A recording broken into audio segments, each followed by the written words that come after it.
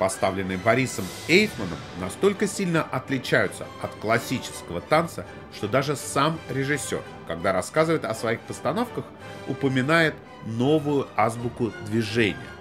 23, 24 и 25 апреля театр Эйфмана представит в Торонто балет Анна Каренина. В преддверии гастролей Вестник Торонто поговорил с выдающимся хореографом об амбициозных попытках инсценировки большой литературы и о кропотливом процессе создания нового языка танца.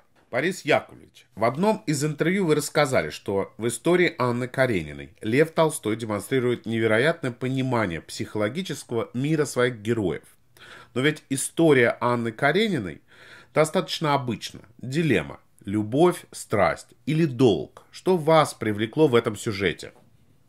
Ну, всю свою творческую жизнь я пытаюсь найти эквивалент э, э языка тела, который может выразить э, внутренний мир человека.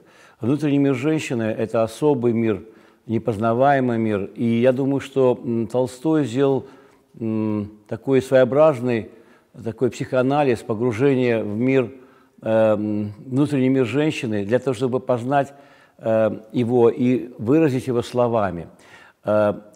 Это мир женщины, сексуально зависимой от мужчины, мир женщины, погруженный в мир своих э, разрушительных страстей, в ад своих разрушительных страстей. Поэтому для меня было это очень интересно найти ту пластику, ту хореографию, которая сможет выразить этот, э, этот, э, этот страшный, э, ее страшный мир страстей этой, э, этой удивительной женщины. Скажите, какую Анну Каренину ожидать нам? я покажу канадской публике э, мою Анну Каренину. Это мое видение э, этой такой, я бы сказал, казалось бы, такой тривиальной, да, банальной истории треугольника жена, муж, любовник. Казалось бы, что можно еще рассказать в этой банальной истории? Но я следовал за Толстым, и, с другой стороны, я следовал вот своему методу погружения во внутренний мир. И вот это открытие тех, тех внутренних страстей, которые, так сказать, вот я почувствовал, я увидел и выразил через движение, оно должно захватить публику, потому что это, понимаете, это не, это не диалоги словесные, это сама страсть, которая э, захватывает героев, которая сталкивает героев. И я думаю, что в этом, конечно, э, колоссальный мировой успех балета Анна Каренина, моего балета Анна Каренина. Наверняка многие из американских зрителей и не читали Анну Каренину. Не боитесь этого?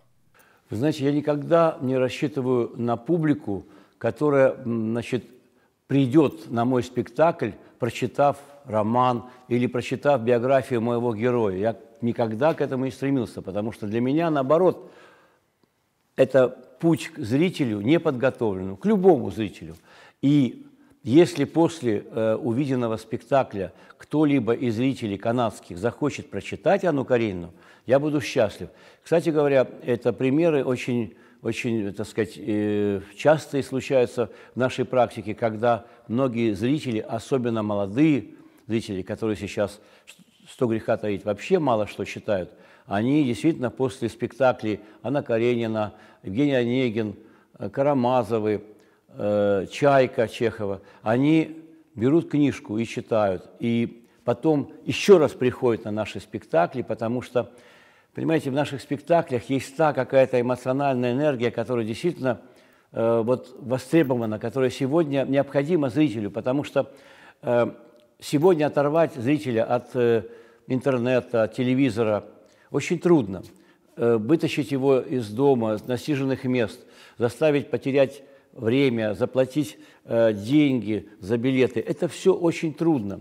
И я думаю, что успех и, и наших, наших спектаклей именно в том, что зрители могут увидеть э, и почувствовать в наших спектаклях то, что они нигде в другом месте не почувствуют и не увидят. Я думаю, что зрители, которые придут нам на спектакль, им совсем не обязательно быть подготовленным. Им просто нужно быть подготовленным к тому, что они получат очень сильный, эм, сильное эмоциональное потрясение и так называемый катарсис, к которому стремится сознательно или несознательно театральный зритель.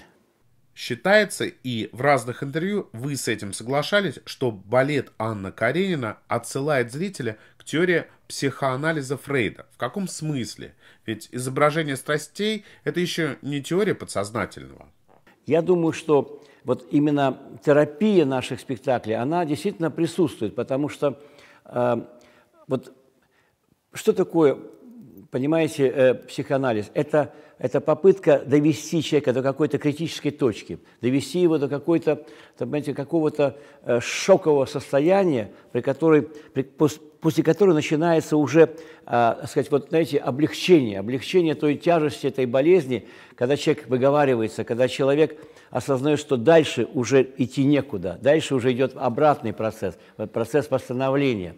И вот, вот эта критическая точка эмоциональная, в общем-то, достигается в нашем спектаклях – потому что все настроено на вот этот очень сильный, мощный энергетический, эмоциональный удар. Э, зрители, которые, ну, так называемый интеллектуальный зритель, э, подготовленный зритель, театральный зритель, э, безусловно, это тоже наш зритель, потому что он приходит к нам для того, чтобы увидеть то, что он не может прочесть, то, что находится между строк – вот это вот тоже наше особое искусство, именно показывать то, что находится между строк, что невозможно выразить словами. Я вообще хотел бы сказать, что действительно, э, ну, как бы сказать, наша, на, на, наш мировой успех именно э, на том, что мы работаем на очень широкую аудиторию. Каждый зритель, каждый человек, который находится в нашем, э, театре, в нашем зале, он находит то, ради чего он пришел к нам на спектакль. Несколько лет назад мы видели этот спектакль, и ощущение такое, что вы научились выражать такие эмоции через танцы и таким образом, что ни у кого до этого так не получалось. Можно сказать, что вы изобрели новый жанр в танце? Ну, конечно, это, понимаете, это балет, конечно, это балет, но это наш балет. Это тот балет, который я всю свою творческую жизнь вынашивал – и шел к этому. И мы сейчас находимся на пути вот именно достижения того результата, которым мы уже занимаемся на протяжении почти 40 лет, ведь нашему театру почти 40 лет. И действительно, я хочу сказать, что мы где-то находимся на стыке между драмой балета, между кино и балетом, между как, э, каким-то особым, особо магическим искусством и балетом. Это немножко шаманское такое, понимаете, действо, которое завораживает, подчиняет э, тысячи людей, тысячи людей. Это, конечно, какое-то магическое искусство. Мне очень трудно говорить о своем, э, о своем искусстве, о своем театре, э, потому я думаю, что это все-таки это дело все-таки будущего и дело аналитиков, которые потом найдут и э, смогут понять и оценить наш, наш вклад в мировое искусство. Наши коллеги отмечают, что в ваших постановках не только особая пластика, но и особые типажи артистов. Высокие, тонкие, с длинными пальцами. И отвечая на вопрос, вы говорите о понятии сценического менталитета. Вы можете объяснить, что это такое? Знаете, мое, мое э, так сказать, творчество очень зависимо от э, таланта э, реализаторов, таланта исполнителей очень зависим. Почему? Потому что я очень много придумываю, я создаю свою хореографию, я работаю с актерами, я аккумулирую их идеями и хореографическими, и, и философскими, и какими угодно. Но все, все равно в конечном итоге они выходят на сцену, и они являются проводниками моих идей, э, мыслей, чувств и так далее. И вот степень их таланта, степень их мастерства э, – и определяет в конечном итоге вот уровень спектакля. И это очень, кстати говоря, видно, когда на сцене вот именно близкий мне человек по духу, по, по крови, что ли. И вот это всегда понятно и видно, насколько это все приобретает сразу же совершенно другой образ, другой уровень, э, так сказать, вот спектакля. И когда ты видишь, что актер не дотягивает или актер не соответствует, то сразу же невозможно ничем заменить, в общем-то, актера в моем спектакле. И поэтому поиск этих истинно талантливых реализаторов моих идей – это очень серьезный, очень долгий, мучительный процесс. Мы, потому что в балетной среде, к сожалению, сложился свой какой-то стереотип, понимаете, балетного менталитета, балетного мышления, балетных какой-то особенностей. И э, вот, э, найти этих, эти, эти, этих особо одаренных э, людей очень, очень трудно. Не случайно мы в прошлом году открыли балетную академию в Петербурге для того, чтобы именно готовить новое поколение артистов балета. Мы хотим воспитать не только универсальных артистов, которые могут танцевать любую технику танца сегодня, но именно хотим воспитать новое поколение э, интеллектуальных, образованных, мыслящих, творческих людей, которые могут быть действительно соавторами да, вот, э, хореографа, которые могут быть э, носителями, проводниками его мыслей, идей, и не только проводниками, но и дополнять это все, оплодотворять это все своим талантом, своим мастерством, который в конечном итоге, как я уже говорил, определяет уровень спектакля. Творчество – это процесс, когда необходим приток новой энергии. Вы уже творите несколько десятков лет. Поделитесь рецептом, как вам это удается? Вы знаете, вот я не знаю, у меня сейчас какой-то какой странный э, пример я вам приведу. Э, у меня как-то в жизни все очень так импровизационно – хотя очень как-то все обдумано, но очень импровизационно. Вот, понимаете, вот мы летаем на самолетах, да, вот мы взлетаем. Я всегда поражался, как, на чем вот держится свой. Конечно, там есть свои какие-то, так сказать, физические, какие-то технические, э, так сказать, явления, которые держат эту огромную, тяжелейшую машину вот в воздухе. Я думаю, любовь – это вот та та вот какая-то химия, да, вот та какая-то вот невидимая какая-то энергия, невидимая, которая держит меня уже много-много лет вот, вот в полете, в полете моей мысли творческой, моего желания э, творить искусство, мое желание жить и любить моих близких и моих, мой театр. Ваш новый балет «Up and Down» вызвал восторженные оценки критиков. Якобы вы материализовали внутренний мир через пластику танца. Расскажите о замысле этого вашего нового балета.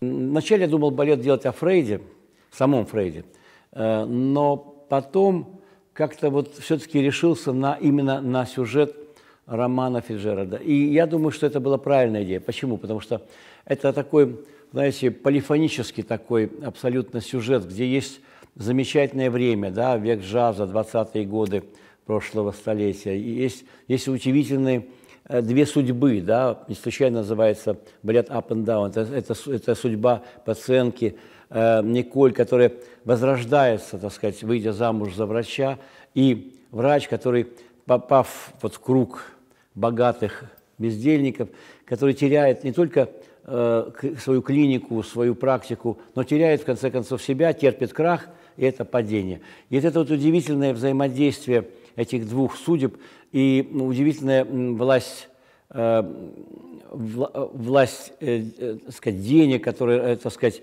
которая разрушает человека, разрушает вот это, так сказать, материальное и духовное. Да, вот в этом, в этом, в этом балете очень очень столкнулись очень как-то так, очень мощно, это две силы. И, и поэтому я думаю, что было очень много очень интересных идей, которые нужно было реализовать. Это очень, так сказать, стимулирует, провоцирует. Вот. Я вообще поражаюсь, что кинематограф э, как-то очень мало, вяло обращает внимание на сюжет. Он поразительный сюжет, поразительный просто.